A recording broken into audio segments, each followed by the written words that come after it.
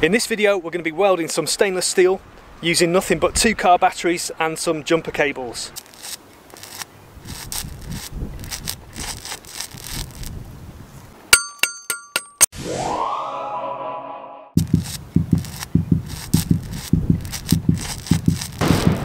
How do we set this up then? Well, it's a piece of cake. All we've got to do is connect the positive from one battery to the negative the other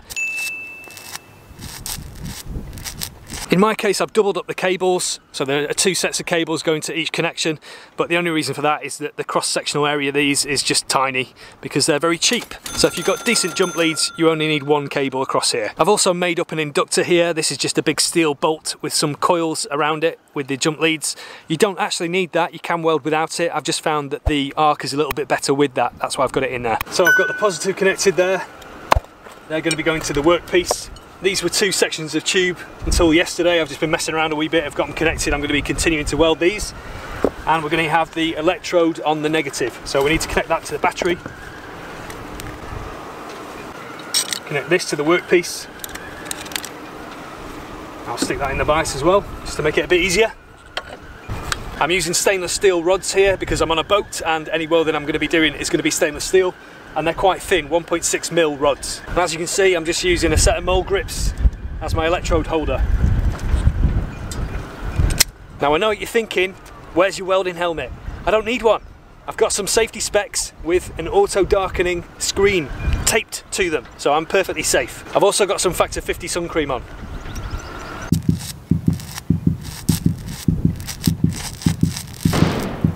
Let's weld. I'm starting off with an overview so you know I'm not cheating and then I'll zoom in and give you a better view in a minute.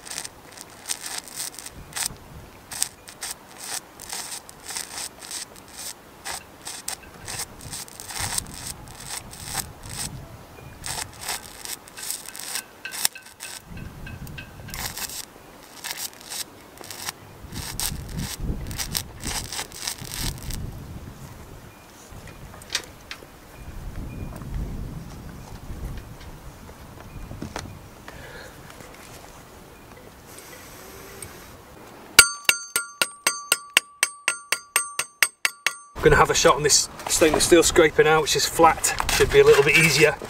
I'm not a good welder, as you can see.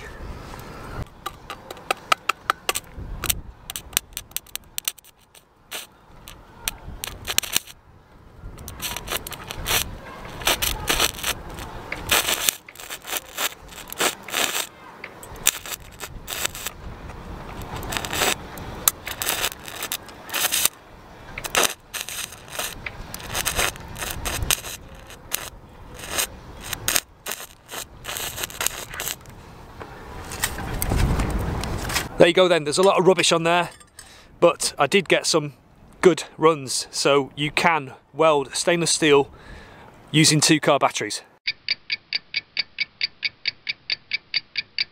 If you enjoyed this video, give it a thumbs up and subscribe to my channel for more randomly helpful videos.